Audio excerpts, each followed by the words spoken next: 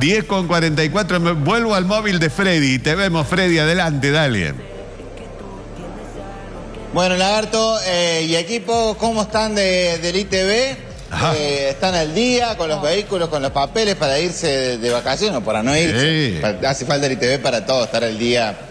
Bueno, hemos venido acá a las estaciones de ITV porque es una época donde normalmente con el, apuro de las personas por salir de vacaciones, de, siempre todos dejamos a último momento y, y- y, eh, aumenta, aumenta. La última semana de diciembre normalmente aumenta el ritmo en las estaciones de ITV que tiene la ciudad de Córdoba.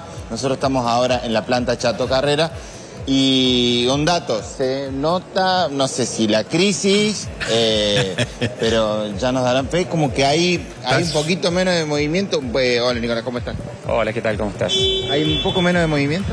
Sí, normalmente para esta época ya el volumen suele ser bastante mayor, cuando nos acercamos ya al año nuevo. Todavía estamos con un volumen de inspecciones normal, así que bueno, recomendamos aprovechar a aquellos que no han venido que se acerquen a las plantas. Bueno, ya vamos a ver los, los motivos. Precios por ahora, no hubo aumento, ¿se espera algún aumento en la próxima hora? Por el momento no tenemos aumento, tampoco tenemos no- novedad, noticia de aumento. Siempre al comienzo de año se empieza a tratar el tema, así que esperaremos a ver novedades recién en enero. Por el momento no hay nada hablado. Bueno, y la merma, ahí me gustaría, ¿es por qué?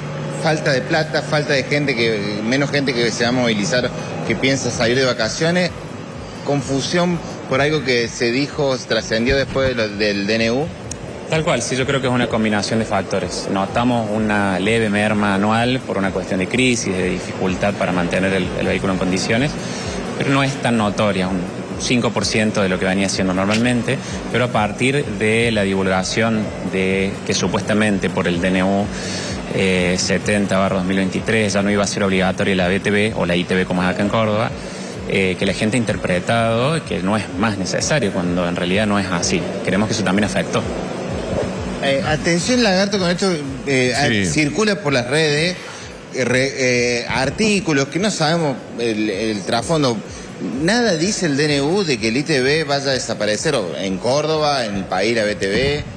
Tal cual, no, el DNU lo que modifica es un decreto ley que habla sobre el Registro Nacional de la Propiedad del Automotor y eh, introduce un cambio que dice que eh, la entrega de las cédulas de identificación del vehículo tienen que ser digitales, nada más. Ese decreto originalmente tampoco hablaba de la ITV, en ningún momento habló porque la obligatoriedad de la ITV viene dada por la Ley Nacional de Tránsito.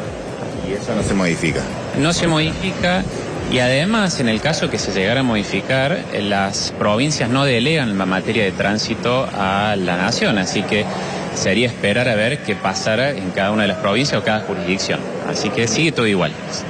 Nicolás, la, última vez eh, empezamos a notar que había como un aumento en la, en la merma, sobre todo por el precio de las cubiertas, la devaluación, eh, en, en los aprobados y un aumento de los emplazamientos. Estamos en niveles normales, los autos cuesta más mantenerlos que antes. Sí, nosotros observamos que se mantienen relativamente los mismos porcentajes de desaprobados. Estamos hablando de un 25% y de fallas muy graves solamente un 5%. O sea, vehículos que no autorizamos a que circulen. Eh, pero sí notamos, como te decía, una leve merma en la, en la cantidad de inspecciones porque está cada vez más complicado poder mantener el vehículo. El precio hoy para, para auto particular Hoy está en 7.676 pesos para un vehículo que está al día. y, ese precio de cuándo está, de cuándo es, es vigente. Está vigente desde noviembre. Ahí está Lagarto, gracias, ingeniero. Eh, un dato para que quieran aprovechar. Después de la evaluación, Freddy. no, no hubo un aumento. Sí, decime, Lagarto. Antes de que se te vaya lejos el ingeniero, vamos a repetir algo que preguntamos creo que hace un tiempito ya cuando fuimos. Bueno, que me repita el costo de lo que sale y lo que sucede, me parece comúnmente, es personas que tienen un atraso, es decir, el año pasado se olvidaron, eh, ¿cómo se cobra para atrás, digamos? Si se cobra una sola vez para atrás, ¿cómo es la historia? Claro, bueno, en el caso de que esté vencida el ITV hay un régimen de penalidades o de recargo en realidad. Ajá. En el caso del máximo recargo es cuando está vencido más de un año, se cobra el 100% de recargo. O sea, pasaría a valer el doble, que es doble. aproximadamente 15 mil pesos. Ajá. Pero es el máximo, no es que a medida de que esté más tiempo vencido se va a cobrar más. Ese es el Claro. tope máximo de recargo. Ah, está ahí es para abajo. Tal cual, sí. Es, si está vencido más de 30, más de 60, 180 o 365 días, hay distintos valores. Está bien.